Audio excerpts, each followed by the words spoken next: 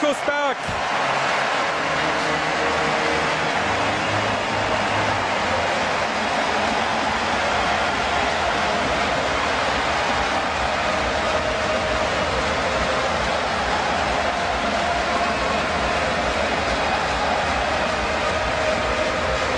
Im Hinspiel wurde er eingewechselt und traf nur fünf Minuten später per Kopf. Es war sein Tordebüt für den HSV und jetzt wieder ein Kopfballtor.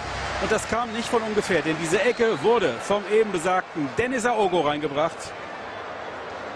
Also, der erste Wechsel beim HSV hat voll gegriffen. Denn wie gesagt, Flanken, Freistöße und Ecken von Aogo sind von höherer Qualität.